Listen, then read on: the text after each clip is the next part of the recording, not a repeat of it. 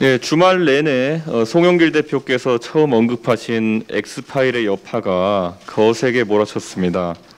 어, 유력 대선 주자에 대한 검증은 필요하지만 내용 없이 회자되는 엑스파일은 국민들에게 피로감과 그리고 정치권에 대한 짜증만을 유발할 뿐입니다.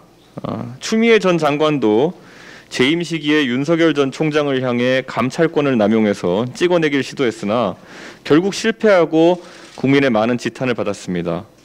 이런 상황에서 닭 쫓던 강아지를 자임해야 될 추미애 장관이 꽝 잡는 매를 자임하는 것을 보면은 매우 의아합니다. 아, 진짜 민주당은 뭘 준비하고 계신 겁니까? 저는 기본적으로 문재인 정부하에서 윤석열 전 총장에 대한 사퇴 압박 등이 거셌던 만큼 문제가 될 만한 내용이 있다면 이미 문제를 삼았을 것이라고 생각합니다.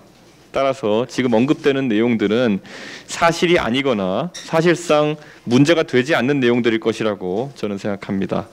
따라서 엑스파일이라는 것의 내용을 진짜 알고 계신 분들이 있다면 그것이 형사적으로 문제가 될 만한 내용이라면은 수사기관에 넘기시고 도덕적으로 지탄받을 내용이라면은 즉각 내용을 공개하고 평가받으십시오.